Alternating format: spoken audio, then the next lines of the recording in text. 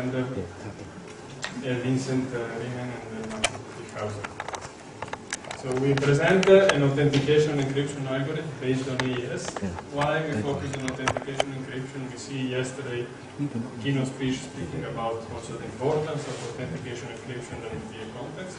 And the reason is mainly because cryptography is not only about encryption. It is about encryption, but not only. Uh, encryption several times is not sufficient for many applications. For what you need to do, you need something more. And sometimes you need even only the authentication. It can be what you really need in specific cases, and this is specified also in some standards. When we speak about authentication encryption, it's basically a function which has plain text and the key and gives you back the ciphertext and the T, which is the authentication tag. And you can have also an additional kind of data is authentication encryption with additional data. With associated data is A, the data which are transmitted in plain text, and you get the A also the output of the authentication encryption. You can build authentication encryption schemes uh, using uh, different uh, constructors. One of the construction is requiring the use of a nonce. And the nonce is a nice thing for the designer because allow you to make some uh, hypothesis uh, and uh, exploit the fact that there is a freshness. A nonce is a number which is used only once uh, for each authentication encryption. Nevertheless, this is a warning slide that is taken from the directional authentication encryption last year presentation. You have a nonce which is added to the authentication encryption scheme. So you have the M coming together with the key, the plaintext, and the additional data, the associated data. But when you implement the vaulting as a designer, even if the nonce can be even a counter or something like this, you have to enforce the presence of the nonce somehow, maybe with a secure EPROM or whatever. Nevertheless, you must be warned that sometime, even if your scheme foreseen the use of uh, a nonce, it must be difficult to enforce.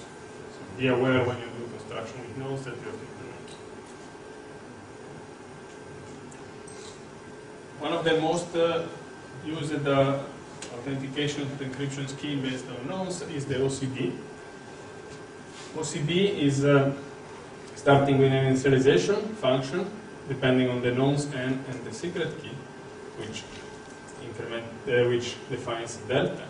And delta then is incremented again depending on the key and on specific functions. I'm not entering in the details here.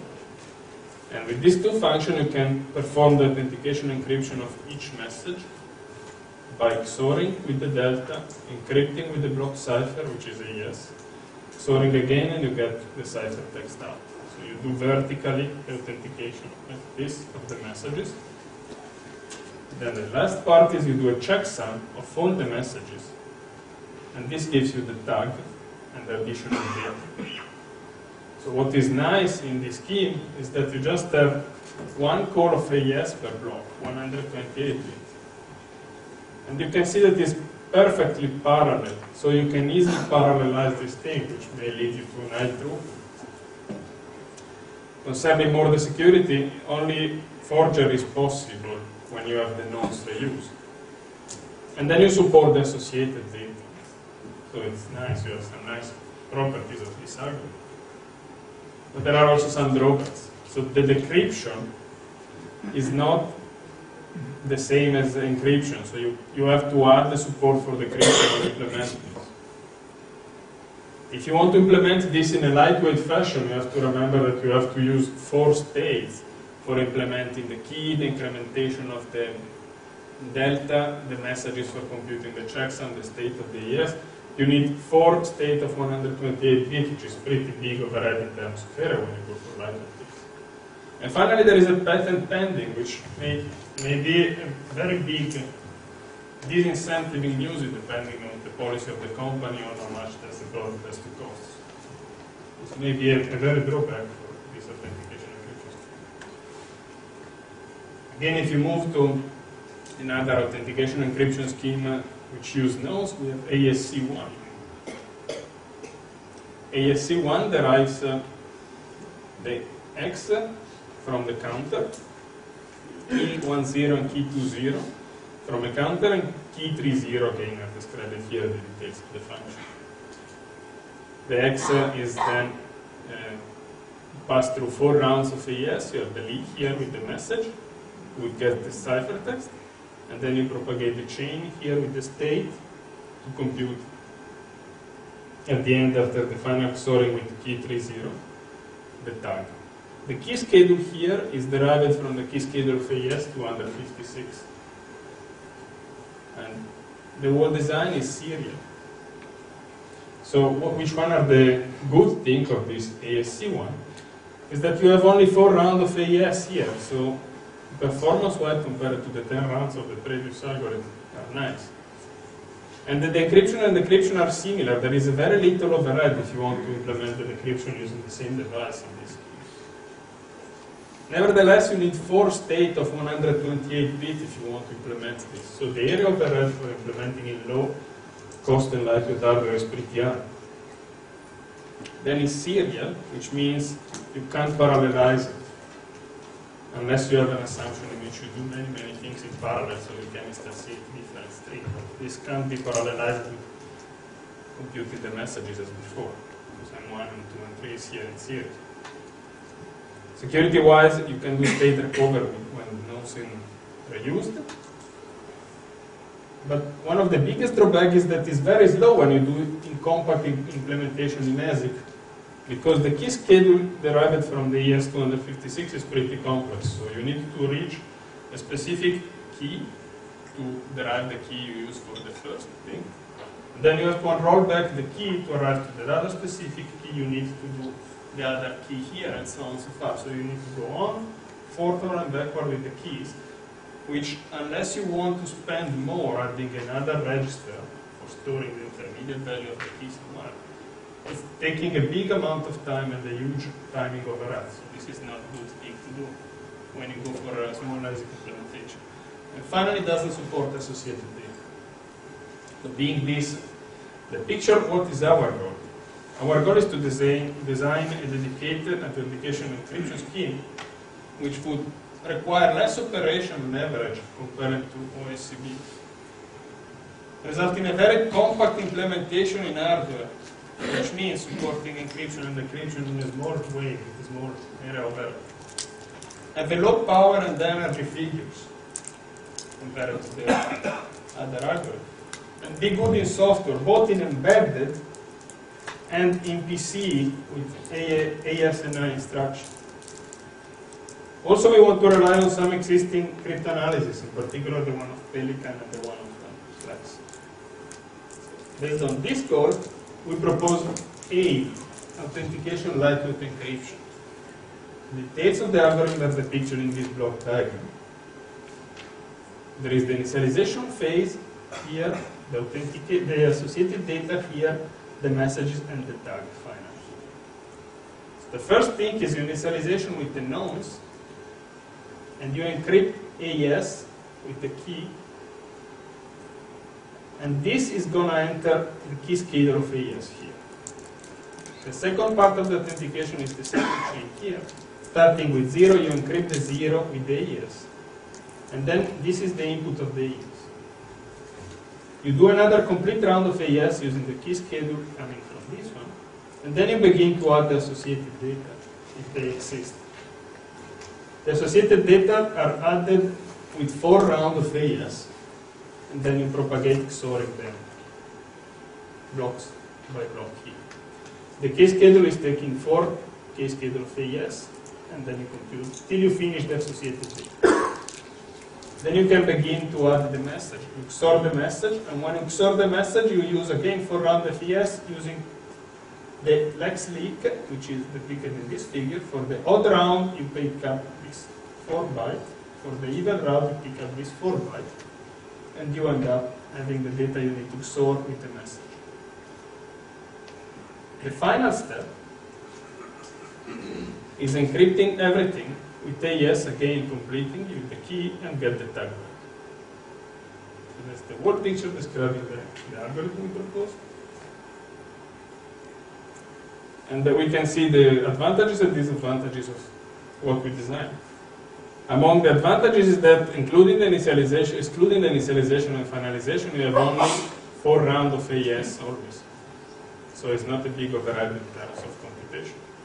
The encryption and decryption is similar, is what is wanted, with what is designed. To implement all of this, we need only two states of 128 bits, so it's pretty lightweight going in lightweight direction. And results in very compact uh, ASIC implementation. Also supports the associated data, so it's exactly what we designed for.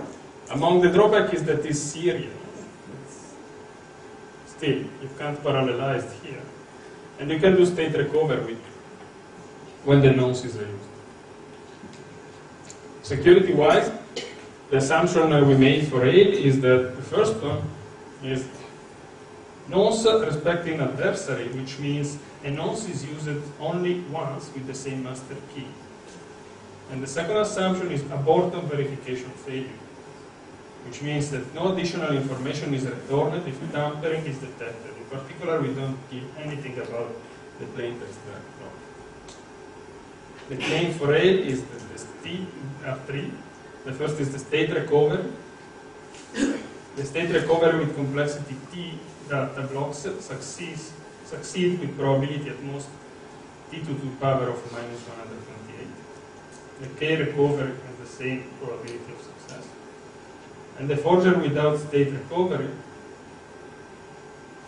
succeed with the probability at most 2 to the power of 128. This is the claim to the algorithm. And as we were, uh, we were implementing targeting lightweight, we implemented uh, and we evaluated in lightweight ASIC and also in software. So the lightweight implementation of ASIC was carried out starting from uh, the smallest existing AES architecture presented so far, which was in 2011 Eurocrypt, and thanks Axel Poschmann for sharing the source code of the implementation. So starting from this, we modified to support the Lex leak of AES and to had some control state to carry on uh, and compute correctly the algorithm. Comparing with the state of the art, we did implementation on hardware using the same technology and the same uh, AES starting point for several algorithms of authenticating encryption, including OCB and the see in the table.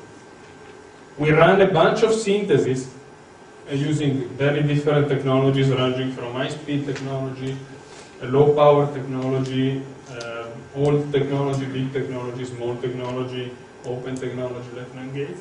And we report in the table only the technology we, the results we have with ST microelectronics 65 nanometers using the low power HBT library, which is specifically designed for low power, having low leakage, but is a bit larger compared to the other uh, we synthesize using the Synopsys, using the standard uh, uh, option to the tool. We were passing only the idea of, we were pushing the tool to minimize the error. And we synthesized the design with 20 megahertz. Also, we arrange a different, uh, we synthesize with different range of uh, clock constraints. We were able to successfully synthesize up to 200 or 300 megahertz depending on the specific library.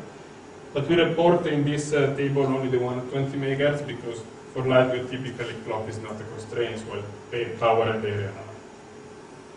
The results are reported here for the implementation. We see in the column the gate equivalent, which is slightly different from one implementation, from one library to another, because it's, it's not perfect the division you do with the reference gate, but this is this is uh, what we get for uh, the ST65 low power. The number of clock cycles per block, 128. The overhead, which is the initialization and the finalization. And the power computed with an average uh, switching activity of the gate of one half. What we see from the table is that the overhead of ALE compared to the reference AES is minimal. Very few gates. Also when we had to add the control for supporting the decryption. But the amount of clock cycle is very reduced because we don't have the complete AES. This graph shows uh, when you reach the optimum compared to the overhead, which is basically around this point. Oh,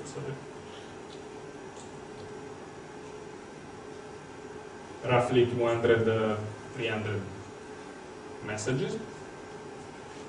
And you see the tail is here. Concerning the software implementation, we use two target platforms. We estimated the embedded, the embedded one because uh, we are optimizing currently for microcontroller the numbers are not available yet. And we implemented one version using Sandy Bridge at 3.1 gigabit using the AES-NI instruction.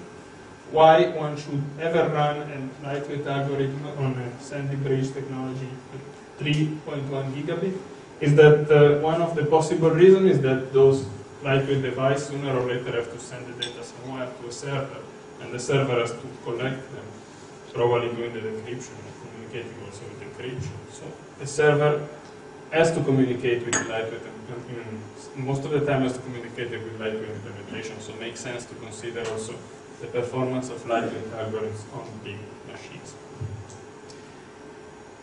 Uh, how do we compare? The parallel implementation we implemented in a parallel fashion, of course, and when there was not possible parallelize the implementation because they were serial, like ALE, we make uh, several instances, imagine that we have different messages arriving in parallel. So instead of having a parallel implementation of the message, we assume that we have different strings.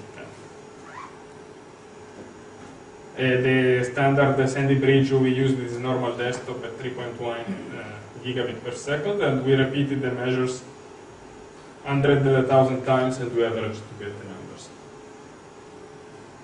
This table reports uh, the software implementation on Sandy Bridge, depending on the message length of 128 to 156 and so on and so forth. The performance of ALE reported on the last line, and we see it's pretty fast compared to some other. This one, and this one. And the star on the table means that those are not parallelized, uh, are the one uh, where you have several instances in parallel, but because it's not the other. Again, this table shows the overhead uh, of the initialization and the finalization, and when you reach the optimal, okay, it is presented here with this curve. Finally, still under development, uh, the uh, library implementation on microcontrollers and on lightweight uh, devices, but we can estimate uh, based on the assumption that usually serial construction do, do not have a very large overhead. We can estimate that should reach uh, an improvement in time 2 to 2.5 faster than AES-OCB. This is an estimation we are still developing. So I come to the conclusions. We developed the, we proposed dedicated nonce-based uh, authentication encryption with associated data based on AES. We used uh, some uh, cryptanalysis uh, of Pelican, Mac, and Lex to derive the security and analyze the security of the algorithm. We propose uh, implementation which has a small hardware footprint, and we prove it uh, comparing with the state of the art and implementing using the smallest AES as base system. And we get a fast software measurement, uh, uh, we get a fast software performance measured with AES-NI, and we estimated the better ones which will, uh, be available in proceeding version. Uh, if you have any question, to answer. Thank you. Uh, it's time for question and comment. Okay, so I have a question. It's very general question. Yeah, so for not for AME. So we use ARX or SBox for non-linearity in block ciphers so. Yeah. So which one is which one is better in viewpoint of right weight Implementation. It depends uh, what's your goal. We tried with a bunch of, uh, okay, also during the synthesis, we switched between different test box of AES proposed so far. We use the one proposed by Canright, we use just the lookup table letting the tool synthesize for you. We use uh, another version proposed by Maintenance. We use a couple of other versions uh, which are supposed to be more resistant against attacks. It really depends if you're looking for power, the best one is the one published by Bertoni, Macchetti, Fragneto in 2005. If you look about area, it's the Cambridge. Uh, if you look about the overall optimization, uh, considering also the developing type, don't have the IP proper, property available is the table because it does a decent job as you give it. So the answer is not really which one is the best, it's which one is what you want to minimize. Thank you. Any question or comment? Okay, let's thank you. Okay.